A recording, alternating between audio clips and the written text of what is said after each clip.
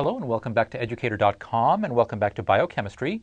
So in our last lesson we talked about myoglobin. Uh, in this lesson we're going to start talking about hemoglobin. So let's just jump right on in.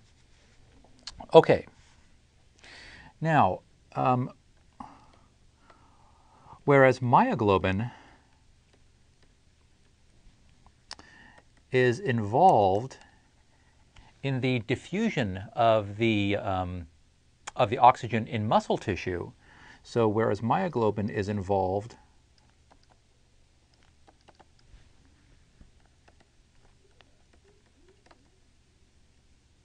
in the diffusion of O2 in muscle tissue,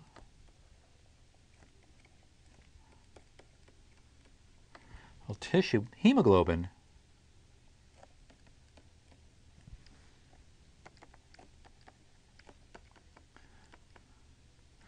That's the protein which actually transports the oxygen in the blood, is the protein, excuse me, which transports the O2 in the blood.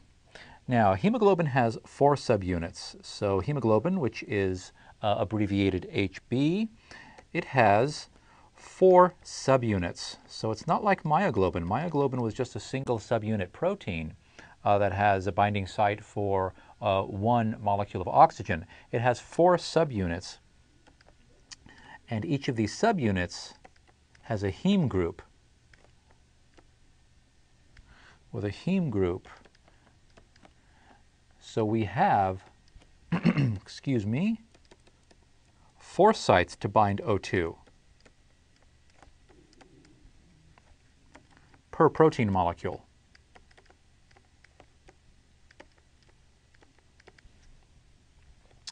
Now, the interactions of the subunits, the interactions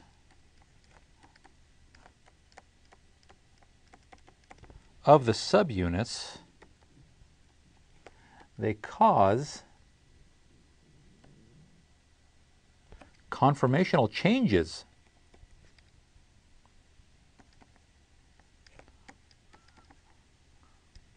that affect hemoglobin's affinity.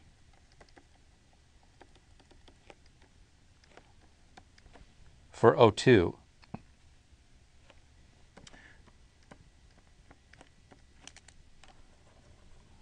Okay, so the conformational changes among these subunits as one O2 binds, there's going to be a conformational change, and that conformational change is going to affect uh, the extent to which another O2 will bind or release depending on the physiological conditions at hand. So you remember, um, we need to actually bind the O2 tightly. We need to take it to another part of the body, to the tissues, and we need to be able to release it. So we need that, that flexibility, that great degree of flexibility, in fact, because um, the oxygen that's coming, uh, you know, the lungs is going to be a particular concentration of oxygen, but that's not the same concentration of oxygen that's in the tissues. So we don't want some molecule that just binds O2 and hangs onto it.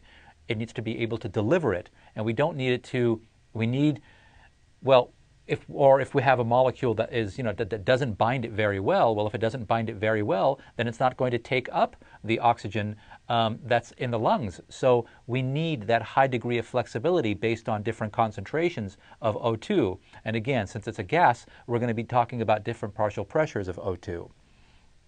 Okay, so now um, hemoglobin has alpha and beta subunits. So it has two alpha subunits and it has two beta subunits. Uh, alpha and beta subunits, two of each. So we have an alpha 1, beta 1, and an alpha 2, beta 2. So the alpha 1, beta 1 are, um, they interact rather tightly, and the alpha 2, beta 2, they interact tightly. Now, there is interaction between the alpha 1 beta 2 and the alpha 2 beta 1, but it's a weaker interaction. So the alpha it has 141 amino acid residues, and the beta has 146 amino acid residues. Okay, let's go ahead and take a look at an image of hemoglobin here.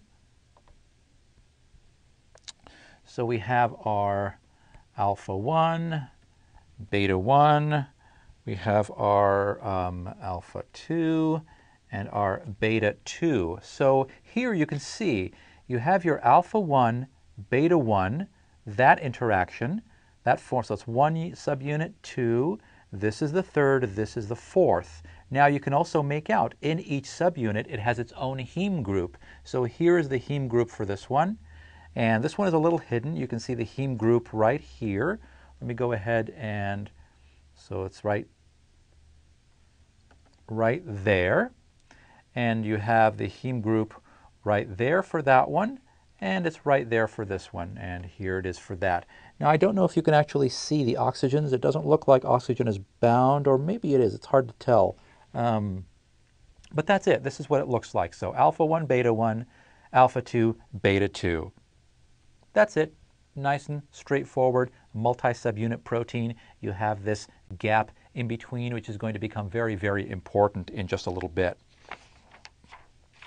Okay, so now our alpha 1, beta 1, and alpha 2, beta 2, k, their respective interactions are quite strong. Strong. You have about 30 amino acids between alpha 1, beta 1, alpha 2, and beta 2 that are interacting with each other. So 30 amino acids interacting, um, that's pretty strong interaction. Now, as far as the alpha 1, beta 2, and the alpha 2, beta 1 down here, alpha 1, alpha 1, beta 2, alpha 2, beta 1, the interactions in this region and that region there, they are less strong. I'll put the interactions are less strong, somewhere in the neighborhood of about uh, 18 or 19 amino acid residues that actually end up interacting. Uh, when we use chemical agents to actually separate these subunits, as it turns out, um, they break up not into four separate subunits. We can do that if we want to, but uh, for mild treatment, what ends up happening is the alpha 1 and beta 1 actually stay together, and the alpha 2 and beta 2 stay together. So the interactions are quite strong between those subunits. All right, so hemoglobin, let's see. So hemoglobin, it has two major conformations. Two major conformations. One is called the T state, and T stands for tense. This is where no oxygen has bound to it, so this is deoxyhemoglobin. So this is deoxyhemoglobin, and then there's something called an R state. In this case, R stands for relaxed. And this is the oxyhemoglobin. So when oxygen is actually bound to it, the more oxygen that's bound to it, the hemoglobin is in more of an R state. So when we say it has two major conformations, we're not saying it goes from T to R, boom. There is a transition. You have four oxygen molecules that are binding to the hemoglobin. So as one of them binds, there's some conformational change and it starts to move away from the tense state and it starts to make the transition over to the R state. So now it makes the second molecule of oxygen a little easier to bind. That second oxygen causes more conformational changes, shifts it more towards the relaxed state, which makes it more easy to bind the third oxygen. By the time the fourth oxygen molecule binds, it's completely in the relaxed state. So the relaxed state, the R state, has a high affinity for oxygen. The T state has a low affinity for oxygen. Now, these terms high and low, these are relative terms. We're not saying that this T state hemoglobin has no oxygen attached to it. That's not it at all. In fact, it's about 60% saturated with oxygen. The difference is the R state is about 96% saturated with oxygen. So it isn't zero, 100. It isn't all or nothing. It's just it's relative, degrees of saturation. The R state, very, very saturated with oxygen. That's the arterial blood. That's the red blood that has um, all that wonderful oxygen in it. Um, the T state, about 60% saturation for the hemoglobin, that tends to be more of a bluish purple. That's the venous blood. That's the blood that's actually coming back from the tissues uh, because it's delivered its oxygen. Now it's depleted oxygen. So the color actually changes. Okay. Now, the binding of O2, okay, so as we just said, the binding of O2 to a subunit of T-state hemoglobin causes a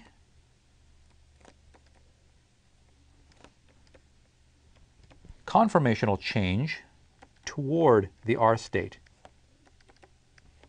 Toward the R state. And again, it is a transition. It isn't just boom, it goes to the R state.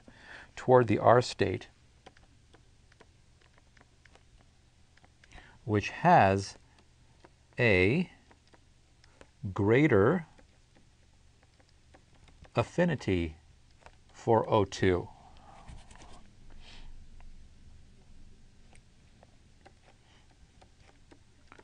So it begins to bind more O2. And the more O2 it binds, the more it wants to bind. That's this sort of domino effect, if you will, of this thing called cooperative binding, which we'll talk a little bit about um, a little bit later. Okay, so now